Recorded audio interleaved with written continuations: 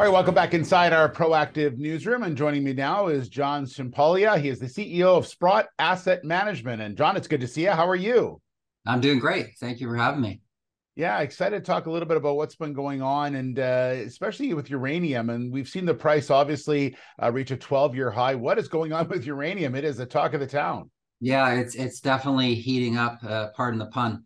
Um, it really started a few weeks ago uh, when I was in London at the World Nuclear Association conference, where the uh, association put out their new revised forecast for nuclear energy and uranium going out to 2040. And sure enough, they've increased their, their forecast by 15%. So, you know, as the world basically uh, returns back to nuclear energy, we're seeing a revival of interest. Uh, and at the end of the day, you know, you know, you need more uranium to fuel all the power plants that are under construction and are being planned uh, to, to be constructed over the coming years. And for example, just this week, Poland announced for the very first time they're going to be building nuclear power stations. So it's part of a broader trend where people are focused on energy forms that provide reliable baseload power, very low greenhouse gases, and I think more importantly, uh, energy security in a world that uh, has become much more geopolitically entangled. You know, it's interesting because you talk about uranium and you talk about nuclear energy, and you mention those, and people sometimes get a little skittish about them. But do, do you feel that attitudes are changing a little bit about about the the power of these two? Pardon the pun as well. But uh, you think people's attitudes are starting to change a little bit? Yeah, I think I think attitudes have changed dramatically, and I think it's because people um, have spent the time to think uh, and do more research and educate themselves around all forms of energy. I like I just don't think people really cared to think about where does our electricity come from, where does our power come from two or three years ago.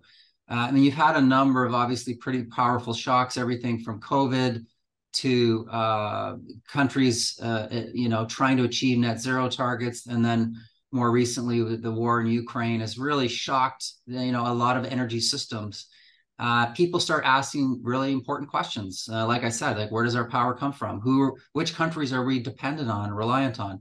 Uh, and that's I think where nuclear energy c- comes in. Whether it's very reliable baseload power, affordable power, uh, power that has incredible energy density, so you're not beholden to let's say a particular pipeline coming from a particular nation. Um, it's really plays a key role in not just decarbonization but energy security and I think that revival has obviously been a key driver of the price increase for uranium. It's gone from $48 a pound at the beginning of this year to around $70 a pound right now, which is a 12 year high. We have not seen the price of uranium at, at uh, with a seven at the beginning of it since 2011. So it is a psychological number for people just because it's been a long time in the making. But we think um, this this sector still has a long way to go. Uh, we're not at any kind of incentive pricing that will fund and and you know the development of new greenfield projects, which are desperately needed at the end of this decade to ensure we don't have any um, you know material supply deficits. And and that's what's really attracting investors. It's the supply demand fundamentals. It's the renewed interest in nuclear energy and the fact that we had a kind of a lost decade uh, where the price was at, at, at levels that just didn't incentivize you know new exploration and development. So is that in turn benefiting those who are are are mining for uranium right now? Are they seeing a bit of a, a bump as far as you know trying to raise capital or things like that? Yeah, I mean the commodity price is obviously the the key part of the story here, um, and it is one of the most important factors for uranium mining companies. Now, obviously, they need to have the right deposits and the right jurisdictions, but if the underlying commodity price is is not economic, then you know the, those assets will remain in the ground. So as interest is returned, uh, we've seen capital coming back into the sector, which is very healthy. That in turn is, is leading to expanded production. We've seen a number of mines resume operations after being on care and maintenance for many years, which is obviously a, a huge financial lift for these companies.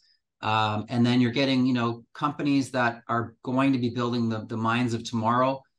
Lots of interest in those companies in terms of financing those builds because they see line of sight with the demand. And so the uranium stocks um, are finally starting to outperform the commodity price. They've kind of lagged at the beginning of the year. And the commodities, if you look at the commodity price, it's up a little over 40% for the year.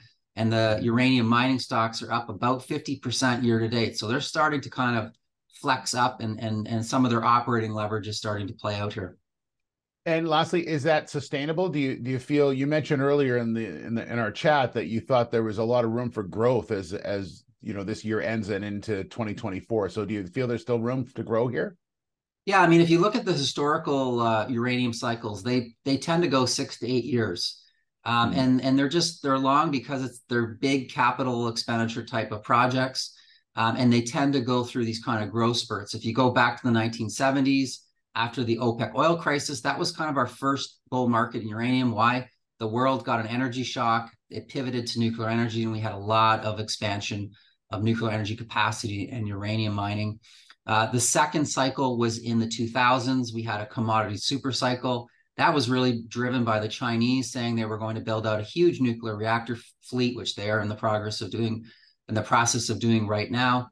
And right now, we're we're seeing this kind of shift back to nuclear energy across a number of countries that are fueling.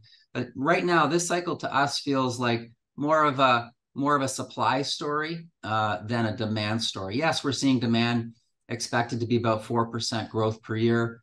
Um, but it's really the supply issue that the industry is grappling with. And, and because of that supply issue, we think this, this, this particular bull market will last several more years.